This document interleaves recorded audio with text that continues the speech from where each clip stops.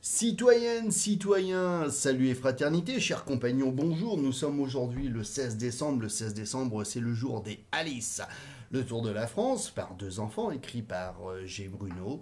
Euh, une lecture par votre serviteur, Grégory Baudouin. Le chapitre 85. André et Julien retrouvent à Bordeaux leur oncle Franz. Ça y est, c'est les retrouvailles. La maxime du jour, on retrouve une force nouvelle en revoyant les siens. Le Perpignan au-dessus de Toulouse quitta le canal du Midi et entra dans la Garonne, ce beau fleuve qui descend des Pyrénées pour aller se jeter dans l'océan euh, au-delà, au-delà de Bordeaux. Le courant rapide du fleuve entraînait le bateau ce qui fit qu'il n'y eut plus besoin de manier euh, la grande perche euh, à grand effort, et, ou de se faire traîner par les chevaux d'écluse en écluse. Les mariniers et, André eurent donc euh, le temps, eurent plus de loisirs pour regarder le riche pays de Guyenne et de Gascogne, où ils ne tardèrent pas à rentrer. La jambe de Julien, quant à elle, était presque guérie. À mesure qu'elle allait mieux, la gaieté de l'enfant lui revenait, et aussi le besoin de sauter, le besoin de courir. À la pensée qu'on arrivait bientôt à Bordeaux, il ne tenait plus de plaisir. Pourvu, pourvu que notre oncle Franz se soit guéri lui aussi. Enfin, au bout de quelques jours, la Garonne alla s'agrandissant de plus en plus entre ces coteaux couverts des premiers vignobles du monde. En même temps, on apercevait un plus grand nombre de bateaux. Bientôt, même au loin, au loin, on vit sur le fleuve toute une forêt de mâts. André André, vois donc Nous arrivons Quel bonheur On apercevait en effet Bordeaux, avec ses belles maisons et son magnifique pont de 486 mètres jeté sur le fleuve. Chacun sur le Perpignan était plus attentif que jamais à la manœuvre afin qu'il n'arrivât pas d'accident. Bientôt le Perpignan acheva son entrée euh, et prit sa place au bord du quai animé où des marins et des hommes de peine allaient et venaient euh, chargés de marchandises.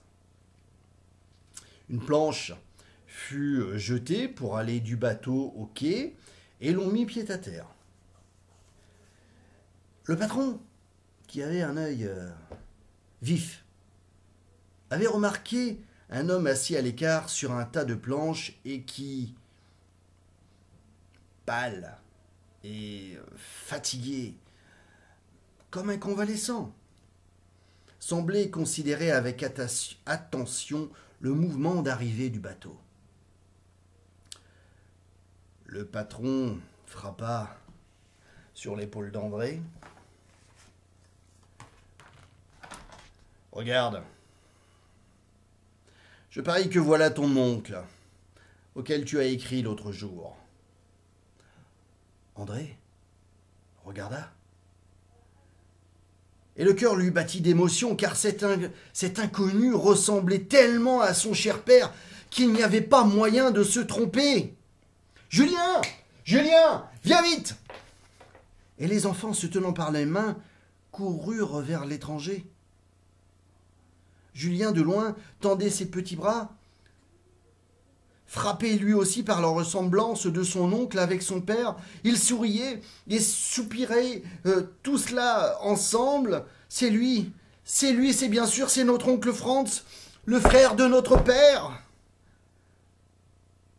En voyant ces deux enfants descendus du Perpignan et qui courut vers lui, euh, l'oncle Franz, à son tour, pensa vite à ses deux jeunes neveux. Il leur ouvrit les bras. Mais pauvres enfants, mes pauvres enfants, mes pauvres enfants. Comment m'avez-vous deviné au milieu de toute cette foule? Oh, oh, vous lui ressemblez tant, vous lui ressemblez tant. J'ai cru que c'était lui. L'oncle, de nouveau, embrassa ses neveux. Je ne lui ressemble pas seulement par le visage. Enfant, j'aurai son cœur pour vous aimer.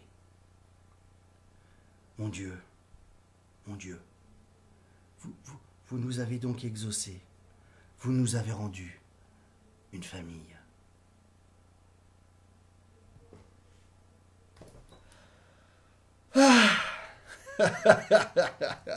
Alors, les gravures du jour.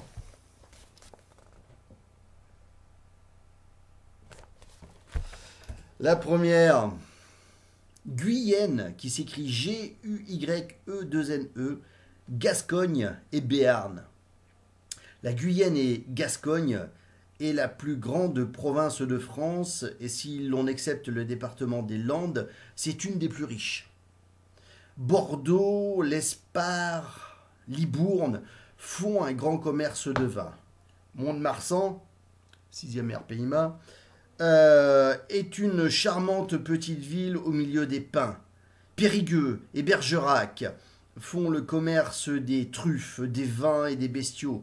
Agen, ville commerçante et renommée pour ses pruneaux Hoche, euh, a une belle cathédrale, Tarbes, Tarbes, 35e rap, régiment parachutiste d'artillerie, d'artillerie parachutiste, pardon.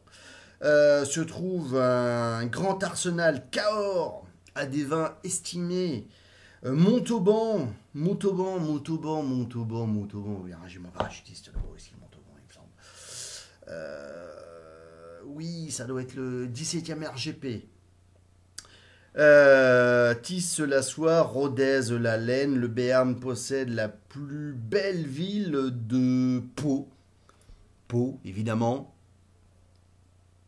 L'école des troupes aéroportées, euh, notre maison mère à, toutes, à tous, euh, notre capitale, où les malades viennent passer l'hiver, et le port de Bayonne.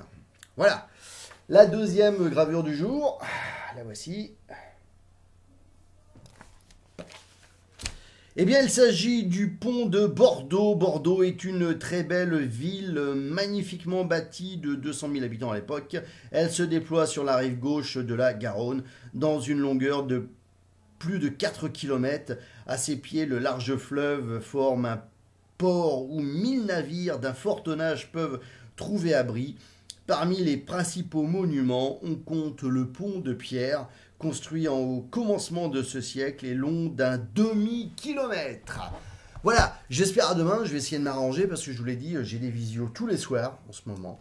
Euh, tous les soirs. Donc euh, je suis rentré un petit peu plus tôt pour vous faire cette petite euh, enregistrement. Donc j'espère à demain. Et d'ici là, par le ciel, partout et pour tous, je vous rappelle qu'il s'agit de la devise du premier régiment du train parachutiste de la base opérationnelle mobile aéroportée dont j'étais. Par le ciel, partout, pour tous, que la force soit avec vous. Salut et fraternité. Et portez-vous bien. Dans cette année 2020 de merde, comme dirait Antoine Decaune. Allez, je coupe